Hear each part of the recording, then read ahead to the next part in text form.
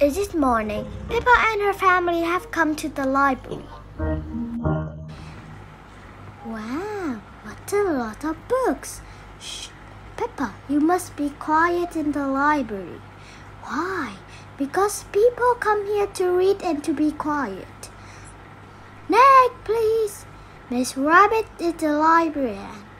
Hello, Mummy Pig. Are you returning these books? Yes, Miss Rabbit. Right you are.